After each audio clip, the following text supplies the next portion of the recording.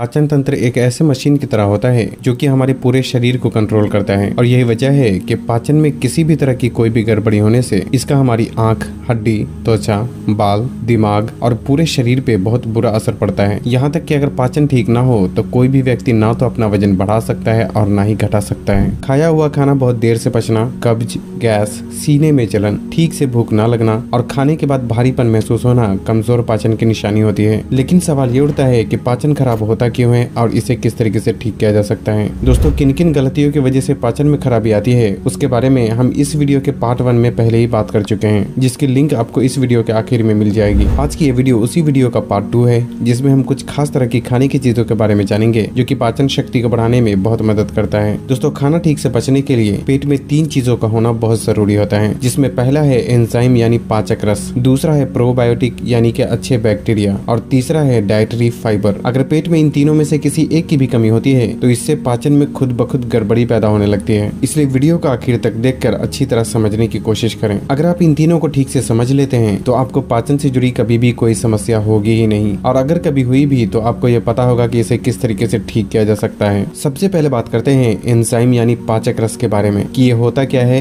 और कौन कौन सी चीज़ों को खाकर इसकी कमी को पूरा किया जा सकता है? दोस्तों, पाचक रस हमारे पेट में खाने को तोड़ने का काम करता है। इसलिए खाना जल्दी और आसानी से पचने के लिए पेट में पाचक रस की सही मात्रा का मौजूद होना भी बहुत ज़रूरी होता है। शायद आपने ध्यान ना दिया हो, लेकिन जब भी आप पाचन से जुड़ी समस्याओं के लिए डॉक्टर के पास जाते हैं तो अक्सर ही डॉक्टर जाइम के नाम से बोतल में एक दवाई देता है। दरअसल उस बोतल में एंजाइम यानी पाचक रस ही दवा के रूप में मौजूद होता है। लेकिन आमतौर पर हमारे शरीर में बिना दवाई के ही लगभग तीन तरह से पाचक रस की ज़रूरत प्राकृतिक रूप से ही पूरी हो जाती है जिसपे हमें और आपको ध्यान देने की ज़रूरत है। पहले तो हमारे मुँह के अंदर जो लार होती है, उसमें भी पाचक रस मौजूद होता है। इसलिए खाना जितना ज़्यादा चबा कर खाते हैं, उतनी ही ज़्यादा मुँह की लार भी खाने के साथ पेट में पहुँचती है और उस लार में मौजूद पाचक रस खाने को आसानी से पचाने में मदद करता है। इसलिए खाना हमेशा ही अच्छी तरह चबा कर खाना चाहिए। आमतौर पर एक लुकमे को कम से कम 30 से 35 बार चबाना एक बेहतर तरीका माना जाता है। उसके बाद खाना पेट में जाने के बाद हमारा पेट भी पाचक रस प्रोड्यूस करता है, जिससे की खाना को और भी अच्छी तरह तोड़ना आसान हो जाता है। लेकिन यहाँ समस्या ये है कि अक्सर ही लोग खाने के तुरंत बाद ही पानी पी लेते हैं और खाने के तुरंत बाद पानी पीने से पेट में पाचक रस की मात्रा ठीक से नहीं निकल पाती, जिससे कि पाचन में गड़बड़ी होने लगती है। इसलिए पानी हमेशा ही खाना खाने के कम से कम आधे घंटे बाद ही पीना चाहिए, ताकि पेट में पाचक रस ठीक से निकल सके। लेकिन इतना ही काफ़ी नहीं होता। पाचन शक्ति को बढ़ाने के लिए कुछ खाने की चीज़ों के ज़रिए भी पाचक रस की कमी को पूरा करना बहुत ज़रूरी होता है। और इसके लिए खाना खाते वक्त एक मिनट पहले एक बटन के आकार के कच्चे अदरक को चबा चबा कर खाना चाहिए। और ऐसा इसलिए क्योंकि कच्चा अदरक पेट में जाने के बाद पाचक रस की मात्रा को बढ़ा देता है, जिससे खाना पचने की प्रक्रिया भी तेज हो जाती है। इसके अलावा लगभग हर कच्चे खाने में पाचक रस मौजूद होता है। लेकिन यहाँ भी समस्या ये है की जैसे ही खाना को पकाते हैं तो उस खाने में मौजूद पाचक रस गर्मी के संपर्क में आने से पूरी तरह से खत्म हो जाता है। इसलिए पाचक रस की कमी को पूरा करने के लिए जो चीज़ें कच्चा खाने लायक होती है, उसे कच्चा ही अपने खाने में शामिल करना चाहिए। और इसके लिए किसी भी फल का इस्तेमाल किया जा सकता है, या फिर खीरा, गाजर और चुकंदर जैसी चीज़ों को सलाद के रूप में भी अपने खाने में शामिल किया जा सकता है, क्योंकि इन सभी चीज़ों में पाचक रस की अच्छी खासी मात्रा मौजूद होती है। पाचन शक्ति को बढ़ाने के लिए जो दूसरी चीज़ें ज़रूरी होती है, वह है पेट में सही मात्रा में अच्छे बैक्टीरिया का होना। दोस्तों, आप में से कुछ लोग यही सोच रहे होंगे कि बैक्टीरिया तो शरीर को नुकसान पहुंचाता है तो भला ये पाचन शक्ति को बढ़ाने में कैसे मदद करता है? दोस्तों, यहाँ इस बात का समझना ज़रूरी है कि हमारे शरीर में दो तरह के बैक्टीरिया होते हैं, एक है बुरा बैक्टीरिया और दूसरा है अच्छा बैक्टीरिया। बुरा बैक्टीरिया हमारे शरीर में बीमारियाँ पैदा करता है, जबकि जो अच्छे बैक्टीरिया होते हैं, वो खाना को पचाने में मदद करने के साथ साथ शरीर में और कई दूसरे कामों को पूरा करने में भी बहुत ही अहम रोल प्ले करता है। बल्कि अच्छे बैक्टीरिया की शरीर में कमी होने से पाचन में गड़बड़ी होने के साथ साथ शरीर कई सारी बीमारियों का शिकार हो सकता है। दोस्तों, जो लोग ज़्यादातर बाहर के खाने और ज़्यादा तेल या चीनी से बनी चीज़ों का इस्तेमाल करते हैं, उनके शरीर में अक्सर ही बुरे बैक्टीरिया की मात्रा बढ़ जाती है और अच्छे बैक्टीरिया कम होने लगते हैं, जिससे की पाचन तो खराब होता ही है, साथ ही कई सारी दूसरी समस्याएँ भी शुरू होने लगती है। इसलिए अगर आप भी बाहर के खाने, तेल या चीनी से बनी चीज़ें और पैकेट में मिलने वाली चीज़ों का इस्तेमाल करते हैं। तो ज़ाहिर है कि आपके भी पेट में अच्छे बैक्टीरिया की बहुत ही कमी हो चुकी होगी और ये भी आपके पाचन में गड़बड़ी होने का एक बड़ा कारण हो सकता है। पेट में अच्छे बैक्टीरिया की मात्रा को बढ़ाने के लिए दो चीज़ों में से किसी एक का इस्तेमाल करना एक बहुत ही बेहतर ऑप्शन हो सकता है, जिसमें एक है दही और दूसरा है एप्पल साइडर विनेगर यानी कि सेब का सिरका। इन दोनों चीज़ों में अच्छे बैक्टीरिया बहुत ही अधिक मात्रा में मौजूद होते हैं, जो की पाचन शक्ति को बढ़ाने में बहुत ही मदद करता है। अगर आप दही का इस्तेमाल करना चाहते हैं तो थोड़ी से दही में एक चुटकी जीरा पाउडर मिलाकर सुबह के नाश्ते या फिर दोपहर विनेगर के खाने के साथ इस्तेमाल किया जा सकता है। और अगर आप एप्पल साइडर विनेगर का इस्तेमाल करना चाहते हैं तो इसके लिए एक छोटा चम्मच एप्पल साइडर विनेगर एक गिलास गुनगुने पानी के साथ सुबह खाली पेट इस्तेमाल किया जा सकता है। या नहीं तो सलाद में डालकर भी इसका इस्तेमाल किया जा सकता है। लेकिन ख्याल रखें कि एक दिन में ज़्यादा से ज़्यादा दो छोटा चम्मच से अधिक एप्पल साइडर विनेगर आपको इस्तेमाल नहीं करना चाहिए। साथ ही कंपनी चाहे कोई भी हो, लेकिन आपको ऐसा एप्पल साइडर विनेगर खरीदना चाहिए, जिसे फ़िल्टर नहीं किया गया हो। और इस तरह के एप्पल साइडर विनेगर की बोतल को हिलाने से उसमें कुछ टुकड़े तैरते हुए नज़र आते हैं। इस तरह का एप्पल साइडर विनेगर आप ऑनलाइन भी खरीद सकते हैं, जिसकी लिंक आपको वीडियो के डिस्क्रिप्शन में मिल जाएगी।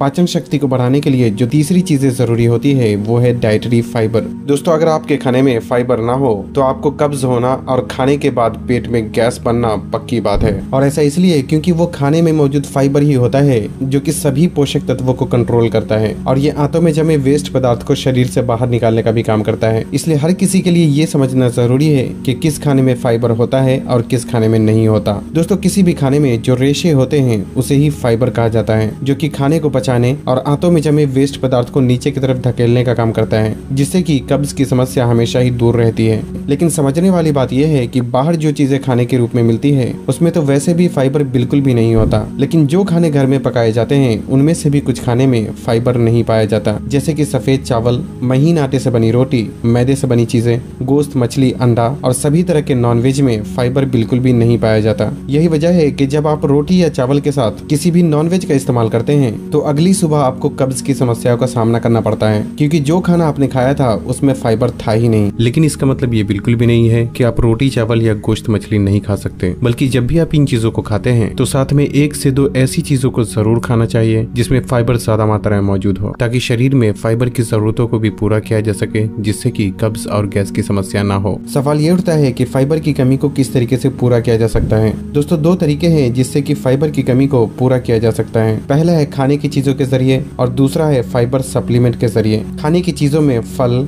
सभी तरह की सब्ज़ी और होल ग्रीन फ़ूड में फाइबर मौजूद होता है। खासकर सेब, अमरूद, भिंडी, गाजर, ब्रोकली, गोभी, टमाटर, छिलके वाली दाल, ब्राउन राइस, मटर और पालक जैसी सब्जियों में फाइबर की अच्छी खासी मात्रा मौजूद होती है। इसलिए बेहतर है कि सुबह की शुरुआत आप किसी फल से करें और उसके बाद आप जब भी खाना खाते हैं तो आपको अपने खाने में रोटी और चावल की मात्रा कम और सब्ज़ी की मात्रा ज़्यादा रखनी चाहिए, जिसमें आप सब्ज़ी पकी हुई भी इस्तेमाल कर सकते हैं और खीरे, गाजर और चुकंदर जैसी सब्जियों को सलाद के रूप में भी खाने में शामिल किया जा सकता है। यहाँ तक कि अगर आप रोटी या चावल के साथ सिर्फ़ नॉनवेज का इस्तेमाल करते हैं तो अब से आपको अपनी ये आदत भी बदल लेनी चाहिए और साथ में कोई एक सब्ज़ी और सलाद को भी शामिल ज़रूर करना चाहिए, ताकि आपको कब्ज और गैस की समस्या ना हो। क्योंकि आपके खाने में सब्ज़ी की मात्रा जितनी ज़्यादा होगी, कब्ज और गैस की समस्या भी आपसे उतनी ही दूर रहेगी। लेकिन एक बात तो मुझे भी पता है कि अभी के लाइफ के हिसाब से हर वक्त के खाने में सही मात्रा में सब्ज़ी का इस्तेमाल कर पाना हर किसी के लिए मुमकिन नहीं है। इसलिए जब भी आपको लगे कि जितनी सब्ज़ी आपको खाना चाहिए, उतनी आप नहीं खा रहे तो ऐसे में फाइबर सप्लीमेंट का भी इस्तेमाल किया जा सकता है। और इसके लिए इसबगोल की भूसी का इस्तेमाल करना एक बहुत ही बेहतर ऑप्शन हो सकता है, क्योंकि इसबगोल एक फाइबर सप्लीमेंट होता है, जो कि सब्ज़ी कम खाने की वजह से जो फाइबर की कमी होती है, उसे कुछ हद तक ये पूरा कर देता है। इसे इस्तेमाल करने का तरीका यह है कि एक छोटा चम्मच इस इसबगोल की भूसी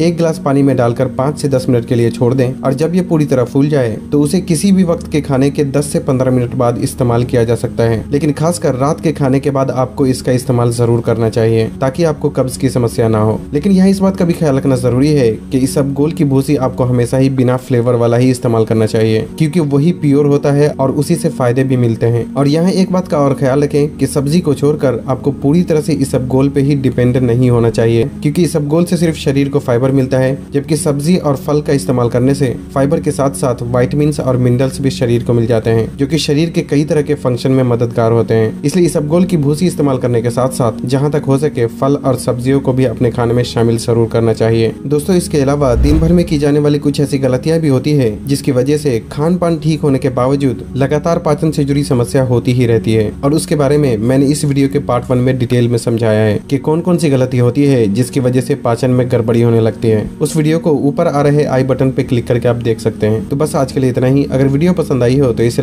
लाइक और शेयर करने के साथ साथ इसी तरह की अगली वीडियो का नोटिफिकेशन पाने के लिए चैनल को सब्सक्राइब करना भी ना भूलें और तब तक के लिए अपना ख्याल रखें। अल्लाह हाफिज़।